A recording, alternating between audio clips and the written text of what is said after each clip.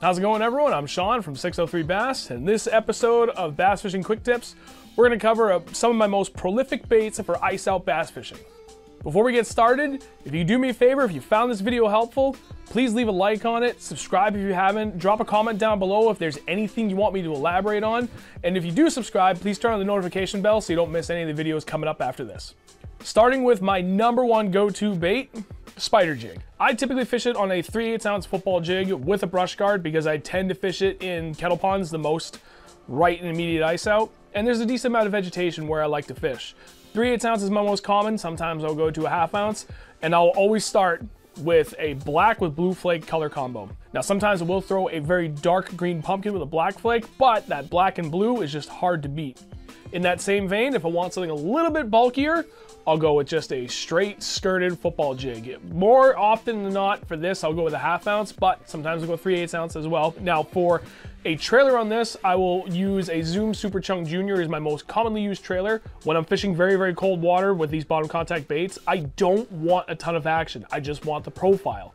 And that has worked very, very well for me over the years. Now you absolutely cannot go wrong either with a hair jig. What really works so well about a hair jig is how the hair seems to have a natural breathing action to it when it's just sitting there. So this bait works extremely well when the water is very cold still. The bass are super lethargic, and you want something that almost looks living while it's just sitting there doing absolutely nothing. Another thing that's been working exceptionally well for me, a very small swim bait and a light head. The heaviest I will go on this, when we're talking ice out bass fishing, is 3 8 ounce, but I've gone down to even 1 8 ounce a lot of the times too.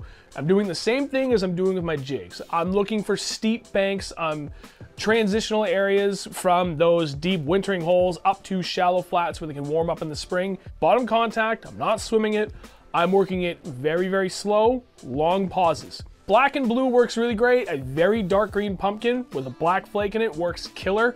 You're gonna get bit often just on the pause. Work it very, very slow. It's gonna work great for you. Moving away from those bottom contact baits to moving baits, both largemouth and smallmouth, it is really hard to beat a red lipless crankbait. What I like to do with that is just yo-yo it. You know, I'm trying to snap it up a little bit, let it fall. Snap it up a little bit, let it fall, and continue that. And sometimes I'll sweep the rod. But everything I do is small, slow, subtle movements give these fish a chance to catch up to that and inhale it. If I'm fishing areas where there's a lot more smallmouth, though this works great for largemouth too, you cannot overlook a blade bait and you can work it the same as a lipless crankbait. And obviously, I cannot forget the suspending jerk bait. It's got to be hands down one of the single best baits that you can be using for ice out bass fishing and well into the spring for that matter. I keep it pretty simple for my color selection. I throw some variation of a blue, something that looks very perchy, and something that looks very much like a gill. I have a huge variety of different jerk baits that will cover anywhere from two to three feet to five to six feet, even down to 12 to 16 feet. It entirely depends on where I'm fishing and what the fish are doing. At this point in the year, I'm paying very close attention to my graph. And if I'm marking a ton of bass and bait that are suspended, I'm gonna pick up the jerk bait that gives me the confidence that's gonna get down right into that depth range where I'm seeing the bulk of the fish hanging out.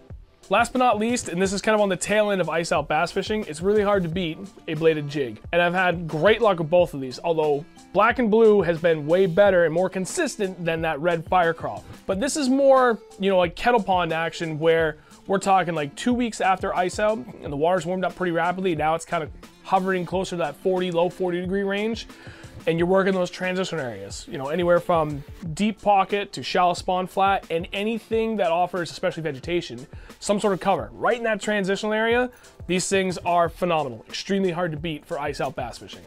All right, that's gonna wrap it up for this video of bass fishing quick tips. Hope you guys all found that very helpful. If you did, please do me a favor, leave a like on the video, subscribe if you haven't, and share the video with friends, family, Facebook, Instagram, I don't care. Anything you guys can do is extremely helpful for us as we try to keep growing the channel. Thank you all for watching, greatly appreciate it. Catch you in the next video.